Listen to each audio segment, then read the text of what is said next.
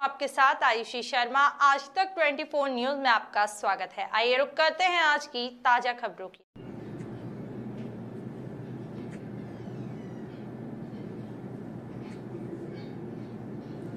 आज दिनांक 21 नौ 2022 को कर्णावत नगर परिषद में एकत्रित होकर मंसूरी समाज के वरिष्ठ लोगों ने मंसूरी कब्रिस्तान में सीसी रोड लाइट व्यवस्था, टीन शेड आदि कार्यों की मांग करते हुए नगर परिषद सीएमओ हरि वल्लभ शर्मा, नगर अध्यक्ष परसराम पाटीदार को आवेदन देकर समस्त कार्यों की मांग की। इस मौके पर मौजूद रहे मंसूरी समाज के मुख्य वरिष्ठ जन रसीद, मंसूरी कमरू, मंसूरी साबिर, मंसूरी हाजी रईस, सलीम मंसूरी मंसूरी जलाल, मंसूरी आमीन, मंसूरी मोबीन, मंसूरी कल्लू खान, मंसूरी आदि ने उपस्थित होकर आवेदन दिया।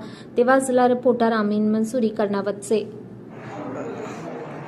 आइए हम बात करते हैं अभी मंसूरी समाज के कुछ लोगों ने एकत्रित होकर यहाँ पर नगर परिषद करनावत में आवेदन दिया है।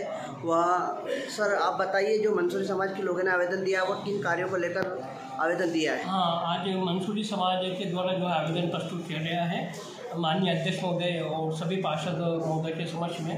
उनका ये कहना है कि जो कब्रिस्तान बना हुआ है वो काफ़ी पुराना है। उस कब्रिस्तान में जो है बाउंड्री बनवाई जाए सीसी रोड बनवाए जाए और लाइट की व्यवस्था भी की जाए। उनके द्वारा जो है ज्ञापन दिया गया है। उस ज्ञापन पर जो है विचार करके उनकी समस्या का जल्द से जल्द परिषद द्वारा जो है निर्णय कर दिया जाएगा। ठीक सर मैं Harivallabh Sharma C M O Karnawa